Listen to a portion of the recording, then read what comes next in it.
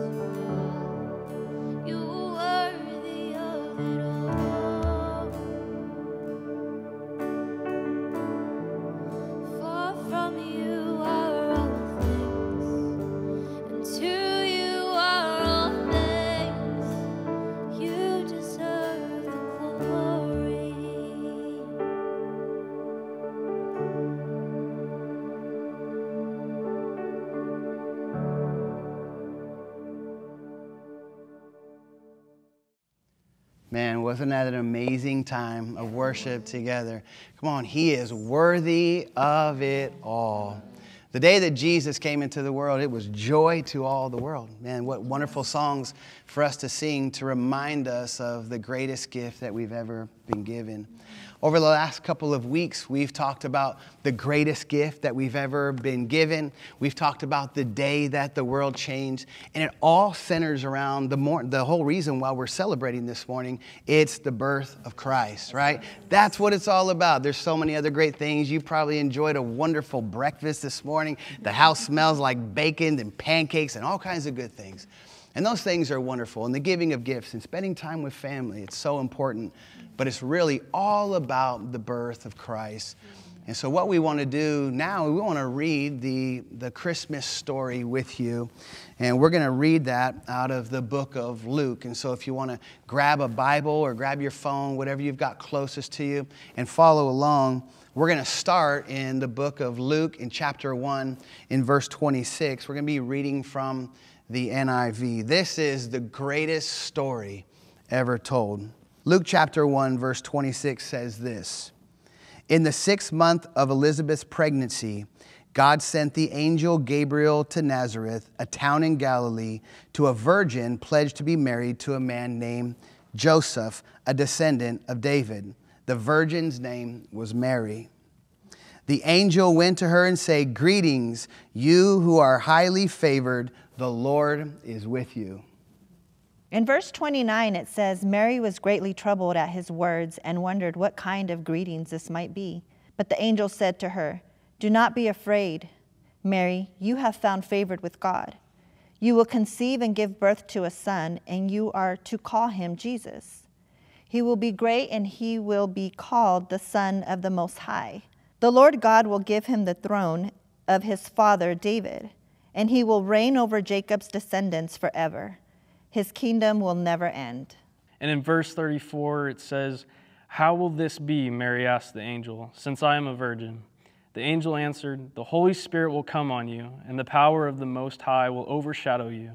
So the Holy One to be born will be called the Son of God. Even Elizabeth, your relative, is going to have a child in her old age. And she who was said to be unable to conceive is in her sixth month. For no word from God will ever fail. I am the Lord's servant, Mary answered. May your word to me be fulfilled. Then the angel left her. In chapter 2, it says In those days, Caesar Augustus issued a decree that a census should be taken of the entire Roman world. This was the first census that took place while Quirinius was governor of Syria, and everyone went to their own town to register. So Joseph also went up from the town of Nazareth in Galilee to Judea to Bethlehem in the town of David, because he belonged to the house and line of David. In verse 5, it says, He went there to register with Mary, who was pledged to be married to him, and was expecting a child. While they were there, the time came for a baby to be born, and she gave birth to her firstborn, a son. She wrapped him in cloths and placed him in a manger because there was no room available for them. In verse 8 it says, And there were shepherds living out in the fields nearby, keeping watch over their flocks at night. An angel of the Lord appeared to them, and the glory of the Lord shone around them, and they were terrified. But the angel said to them, Do not be afraid. I bring you good news that will cause great joy for all the people. Today in the town of David, a Savior has been born to you.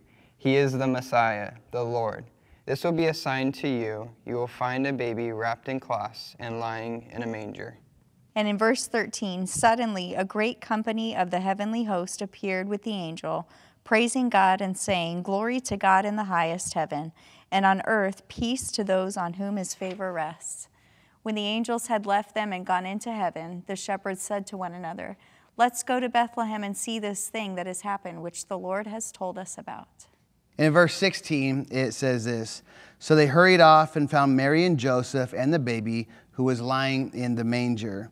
When they had seen him, they spread the word concerning what had been told to them about this child, and all who heard were amazed at what the shepherds had said to them. But Mary treasured up all these things and pondered them in her heart. The shepherds returned, glorifying and praising God for all the things they had heard and seen, which were just as they had been told. And on the eighth day, when it was time to circumcise the child, he was named Jesus the name the angel had given him before he was conceived. Wow. What an amazing, amazing story. And what an amazing gift. It's the greatest gift that you and I have ever been given is the gift of Jesus Christ. And the Bible says in John 3:16, "For God so loved the world that he gave his one and only son." God gave us Jesus as the greatest gift that whoever would believe in him would not perish but have everlasting life. It's the greatest gift you and I have ever been given. And this is the greatest story ever told. And the way that we keep stories alive is by continuing to tell them. And so here's what I want to encourage you today. And before we pray for you, I don't know what the rest of your day looks like. Maybe you're going to go to family's house uh, this afternoon or this evening. Maybe you have a few stops to make. But here's my encouragement to you. At some point along the day, Uh, gather some people around, gather the family around, and tell the story of Jesus. Read through it together.